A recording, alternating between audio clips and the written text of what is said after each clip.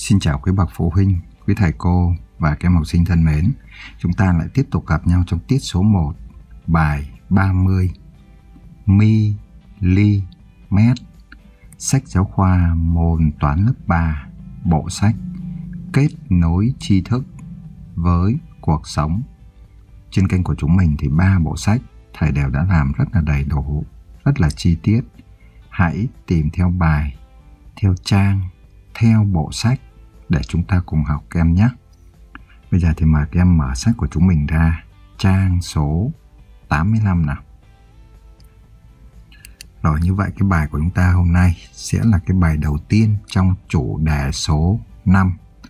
Một số đơn vị đo độ dài, đơn vị đo khối lượng, đơn vị đo dung tích và đơn vị đo nhiệt, nhiệt độ. Hôm nay chúng ta sẽ tìm hiểu cái đơn vị đo độ dài đầu tiên, đó là mm.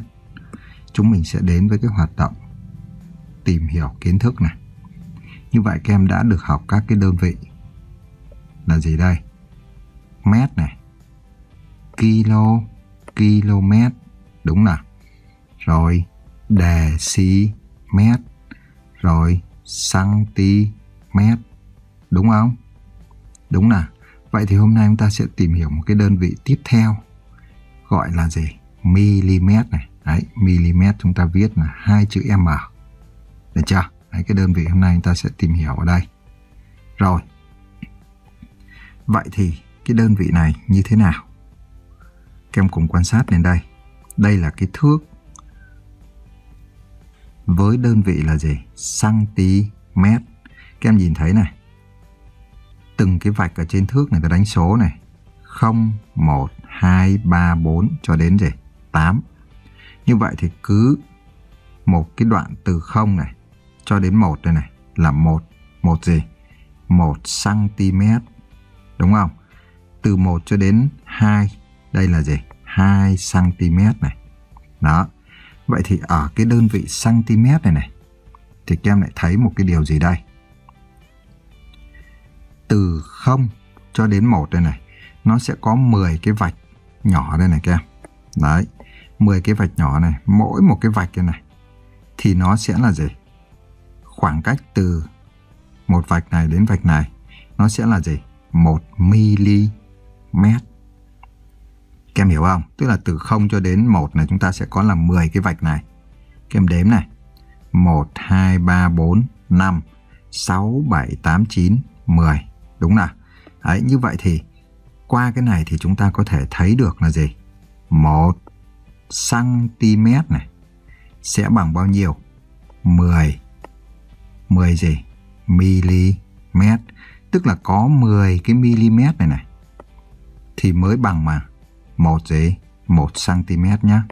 Đấy. Như vậy đây chính là gì? Đơn vị đo độ dài của chúng ta. Tên là gì? Mi mm. Được chưa nào? Rồi, vậy ở đây bạn robot bạn có một cái que gọi là que kem. Ấy hay miền Nam ta gọi là cây kem đúng nào? Que kem này này có độ dày là 1 mm. Độ dày không phải độ dài nha các em, độ dày của nó đó. Chẳng hạn như cái thước của ta này này, đấy thì cái sống này này, người ta gọi là độ dày. Được chưa? Đấy, còn cái chiều như này thì ta gọi là chiều dài. Đây là gọi là độ dày này. Được chưa? Đó, như vậy thì qua cái mà thầy vừa giảng thì chúng ta có cái ghi nhớ cho thầy như sau. Mm là đơn vị đo độ độ dài. Và mm viết tắt là gì đây? Hai chữ M. 1 cm thì bằng 10 mm. 1 m thì bằng 100. Phải không? 1000 mm này. 1 cm thì bằng 10 mm và 1 mét thì bằng 1000 mm nhé. Đấy, nhớ những cái đơn vị này để tí chúng ta sẽ làm những cái bài tập thực hành cũng như là bài tập vận vận dụng củng cố. Rồi chưa? Rồi, khi chúng ta đã nhớ rồi thì chúng ta sẽ đến với cái bài thực hành số 1. Người ta hỏi điền cái số nào như vậy ở đây các em có này. từ A đến B. Đấy, từ điểm A đến điểm B. Thước này là thước gì? Santi. Đúng nào? Vậy các em thấy này, 0 đến mấy? 2. Vậy có nghĩa đây là sẽ là 2 cm bằng bao nhiêu mm? Đó, người ta hỏi đây là mili. Vậy các em biết được này. 1 một gì? 1 cm thì bằng mấy? 10 mm. Vậy thì 2 cm à sẽ là 2 20. Vậy đây chúng ta sẽ điền là số 2 20. Dễ không? Rồi, tương tự như vậy đây là cũng là thước gì? Cm này, đơn vị của nó cũng là sang cm. Vậy chúng ta có ở đây là mấy? Từ 0 cho đến mấy đây? Đến 3. 3 cm thì bằng bao nhiêu? À, 3 30 mm. Dễ dàng đúng nào? Đấy, như vậy chúng ta đã xong bài số 1. Sang bài số 2. Điền cái số nào? Câu A này. 1 cm thì bằng bao nhiêu mm? À như vậy thì chúng ta quá dễ dàng đúng không?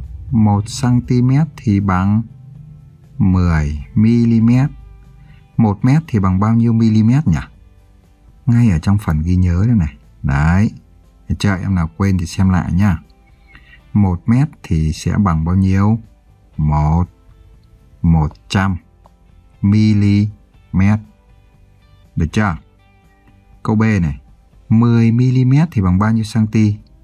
1 mm bằng 10 cm vậy thì 10 mm thì bằng 1 1000 mm bằng bao nhiêu mét? Đây. Dễ không? Dễ quá. Rồi, câu C. 6 cm thì bằng bao nhiêu mm? 1 cm là 10 mm vậy thì 6 cm à sẽ là 6 60. 2 cm gấp 2 lần 2 20.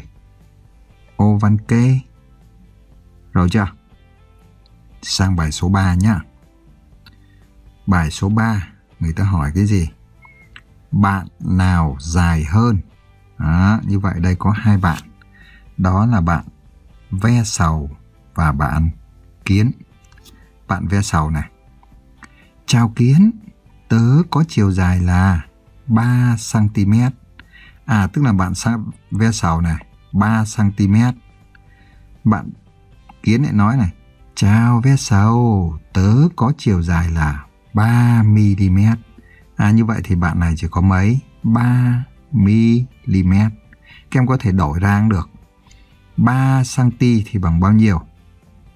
3 30 mm.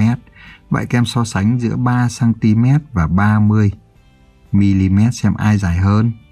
À rõ ràng 30 này nó sẽ dài hơn rất là gì? Rất là nhiều. Đúng không? Đó. Như vậy thì cái bài này chúng mình sẽ trình bày và trả lời như thế nào? À, câu 3 này. Chứ em phải đổi ra nhé. 3 cm bằng 30 mm. Vì nè. Vì 3 mm là của bạn Kiến so với 30 mm của ai? Ve sầu. 3 mm này nhỏ hơn, đúng không? Nên nên là sao? À, nên bạn bạn gì? Ve sầu sẽ làm sao? Dài hơn bạn kiến. Ok chưa? Đó, ve sầu sẽ dài hơn bạn bạn kiến. Được chưa? Rồi, và đây cũng là bài cuối ở trong tiết số 1 của chúng mình. Đừng quên chia sẻ kênh cũng như video này đến cho các bạn nha. Hẹn gặp lại các em ở trong tiết số 2.